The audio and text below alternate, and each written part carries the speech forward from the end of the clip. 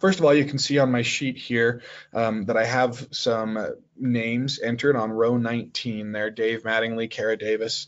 I have them written with, as you can see with this arrow, I have them written with comma space. And then over to the right here, I have them without a comma space. And that's important to remember as I'm about to show you what I'm about to show you. As we all know, concatenate allows you to join a bunch of strings together, pieces of text together. However, the limitation is you have to select each of them as a single piece of text, as I'm doing now, right?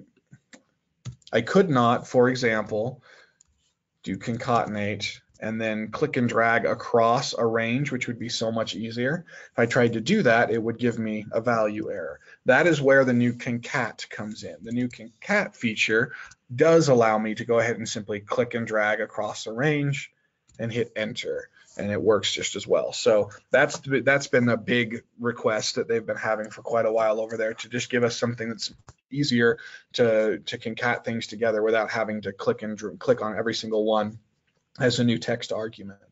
Um, however, one limitation to it is that again, just like concatenate, if I wanted to separate my different arguments by comma space, for example, I would have to manually enter them as I've done over here.